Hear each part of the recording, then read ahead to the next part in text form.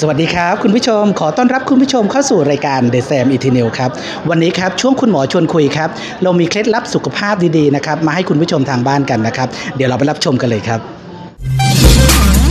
ก่อนอื่นนี่ที่เราจะเริ่มต้นกันเนี่ย ผมอยากแบ่งประสบการณ์ก่อนว่าที่ผ่านมาเนี่ย เราเจอคนไข้ไม่น้อยนะครับ ที่ชอบระงับอาการไอตนเอง ไม่ว่าจะเป็นระงับโดยการพยายามคุมไม่ให้ไอ มักจะเกิดในสถานการณ์ที่เวลาเราอยู่ในที่สาธารณะ รถไฟฟ้ารถเมย์นะครับ หรือในห้าง หรือไปห้องประชุมที่มีคนเยอะๆเนี่ยเราจะรู้สึกน่าเป็นห่วง หรือกลัวจะเป็นที่รังเกียจของสังคมนำไปสู่พฤติกรรมที่ระงงับการไอ เราไอไปได้ เราจะรีบคุมเลยเห็นไหมฮะ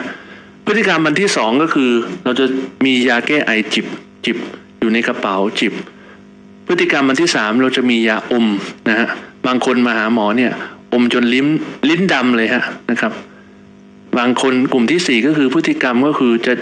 กินยาแก้ไอนะครับ แล้วก็พฤติกรรมที่ห้าก็คือจะจิบน้ำอยู่บ่อยๆดังนั้นพฤติกรรมการระงงับการไอเนี่ยอาจจะไม่เหมาะสม ถ้าเรายังไม่รู้สาเหตุดังนั้นเจตนาของผมที่ตั้งใจทำคลิปเรื่องไอเนี่ยอยากให้เรารู้ก่อนอันดับแรกว่าไอเนี่ย ทำไมเราไม่ควรไประงับทำไม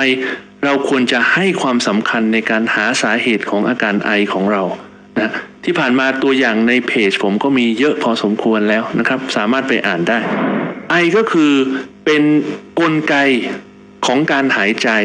นะที่เราเพิ่มความดันในปอด แล้วผลักสิ่งแปลกปลอมตู้มออกมาจากปอดเรานะครับ มันเป็นนกลไกการหายใจ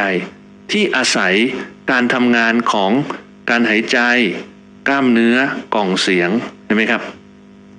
ดังนั้นการหายการไอเนี่ยจะแบ่งเป็นสี่ขั้นตอน